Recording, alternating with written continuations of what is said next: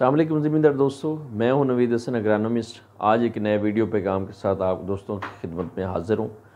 ज़मींदार दोस्तों, मैं आजकल फ़ील्ड में हूँ। बहुत सारे ज़मींदारों के जो मसाइल मुझे नज़र आ रहा है, वो है एजड पनीरी का। पनीरी की मूंजी की पनीरी की जो उम्र है, वो ज़्यादा होगी। उसमें बहुत सारे वजूहत थी बारिशें ज़्यादा आती रही, जिसकी वजह से जहाँ पे मूंजी को ट्रांसफ़र करना था, जहाँ पे मूंजी को आगे लगाना था वहाँ पे ज़मीन खाली नहीं हो सकी। मकई वगैरह वहाँ पे लगी हुई थी और भी कुछ फ़सलें थी। कुछ बारिशों की वजह से ज़मीन टाइमली तैयार नहीं हो सकी। ज़मीन में जो हल वगैरह और उसके जितने भी ज़मीन की तैयारी वाले मराइल हैं, वो पूरे नहीं हो सके।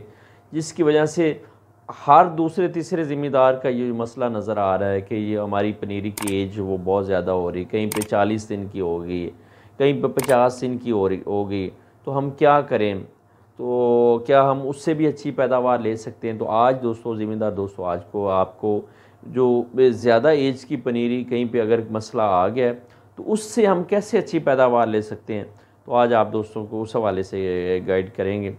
ज़िम्मेदार दोस्तों, अगर बात करें कि सबसे पहले तो हमें पनीरी जो है, वो उसकी आइडियल जो एज है, वो तकरीबन वो 25 से लेकर 30 दिन है। इससे जैसे जैसे हम उसको करते जाएँगे लेट करते जाएँगे पनीरी में। जो टिलरिंग जो सबसे ज़्यादा प्रॉब्लम आता है वो टिलरिंग का इशू बनता है। टिलरिंग जो वो झाड़ बनाना होता है मूंजी ने वो, वो पौधे ने वो झाड़ का मरला जो है वो अच्छा नहीं पूरा होता। जिसकी वजह से नुकसान ये होता है कि हमारे जितने पौधे उसके टिलर्स कम होंगे उतनी मुंजरे कम होंगी और अल्टीमेटली पैदावार कम होंगी।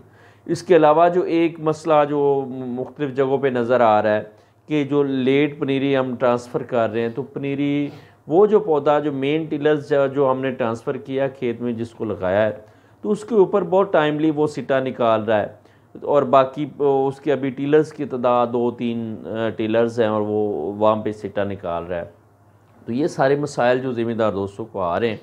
तो हम अगर पहली बात तो ये है कि कोशिश करें पनीरी की एज थर्टी डेज़ से ऊपर ना जाए।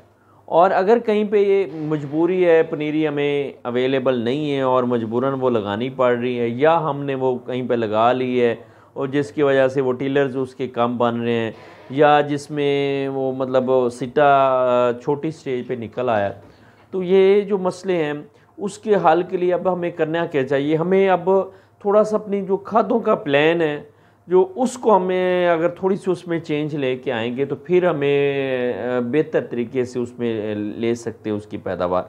अब खादों के प्लान के हवाले से हमें क्या करना चाहिए?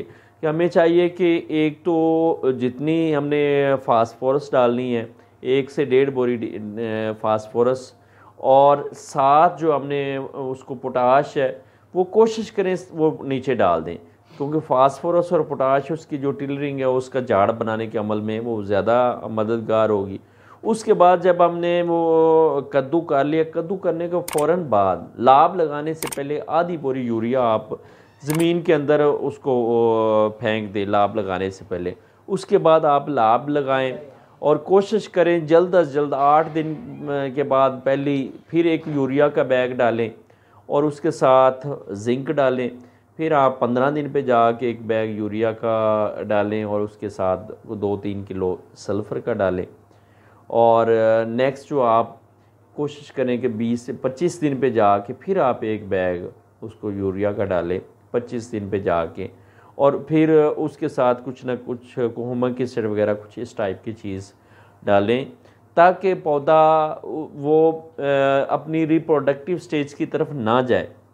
वो अपना ज़्यादा से ज़्यादा वेजिटेटिव ग्रोथ की तरफ़ रहे। ये सारे अवामल हमने 25 दिन के अंदर अंदर अगर हम ये खादें और ये सारी चीज़ें पूरी कर लेंगे तो फिर बेहतर से बेहतर हमें मतलब इसकी पैदावार मिलेगी। और साथ कोशिश करें 20-25 दिन की जब एज की फ़सल है तो वहाँ पे किसी भी अच्छी कंपनी का बायोस्टिमुलेंट या माइनो का एक स्प्रे करवाएँ, फिर एक तीस दिन पे स्प्रे करवाएँ।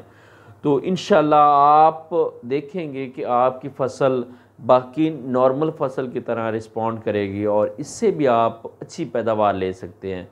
बहुत शुक्रिया ज़िम्मेदार दोस्तों। अस्सलाम वालेकुम